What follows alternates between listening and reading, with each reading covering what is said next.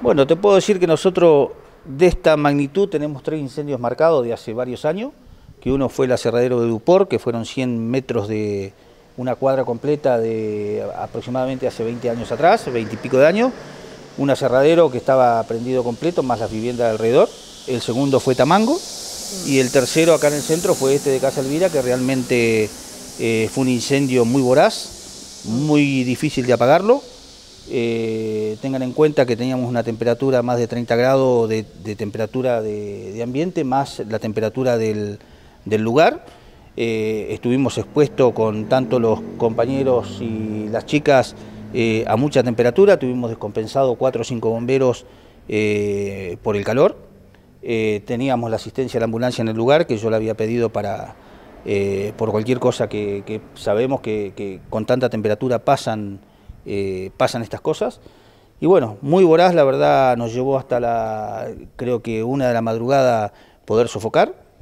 Eh, trabajamos con siete dotaciones de bomberos de, acá del, cuartel. Eh, pedimos el apoyo a bomberos del hoyo, que nos mandaron un camión cisterna con bomberos. Lago Pueblo también, con un camión autobomba y una camioneta liviana con bomberos el sistema del Plan Nacional del Manejo del Fuego, pedimos eh, dos camiones grandes cisterna con dos camionetas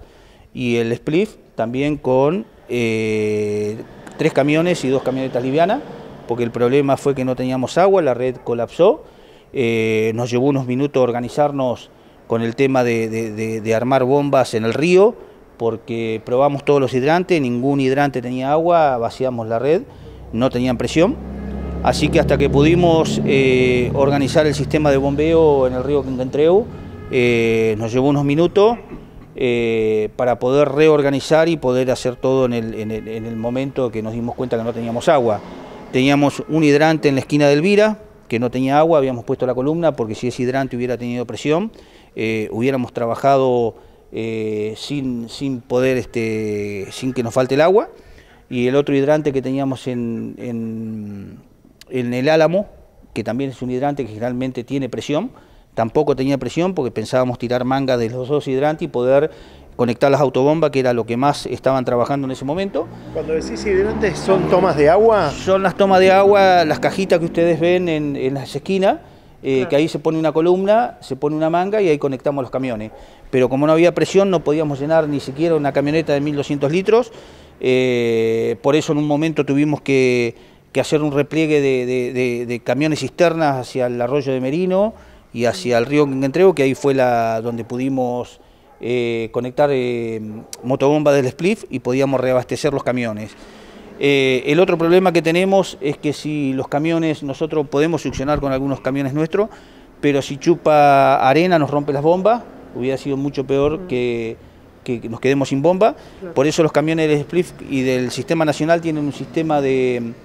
eh, de mallas dentro de los tanques que pueden succionar y toda esa arena queda dentro de los tanques y ahí nos abastecían a, nuestros camiones.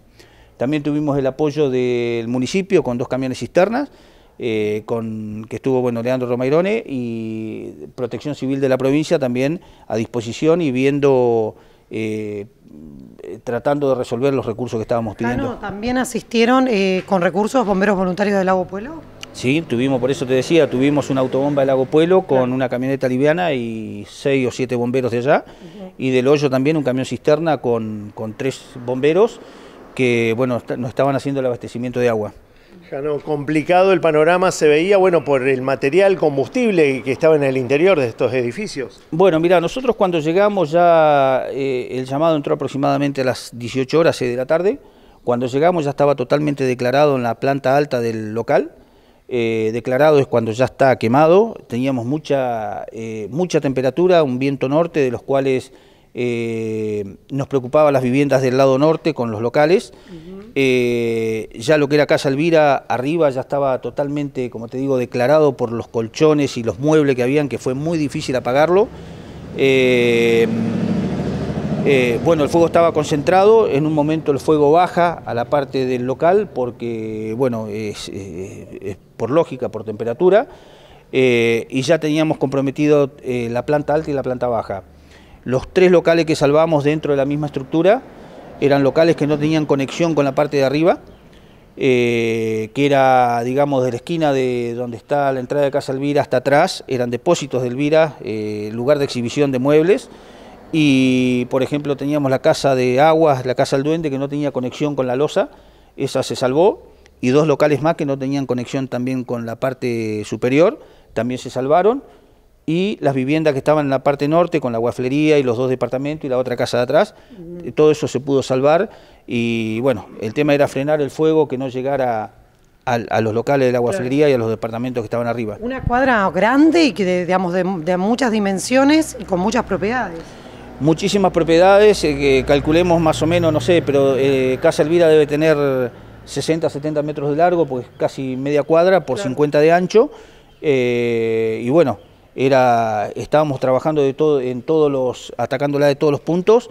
pero bueno, el viento que teníamos, el viento sur, era lo, que nos tiraba el fuego de arriba hacia el norte y era donde no podíamos parar eh, el fuego y, nos preocupaba que, nos, que, que, que se propague a la vivienda de al lado.